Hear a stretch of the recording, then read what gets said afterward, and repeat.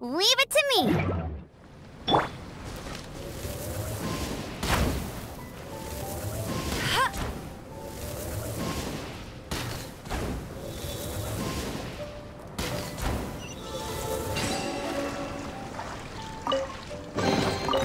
Another target tracked down by Outrider Amber.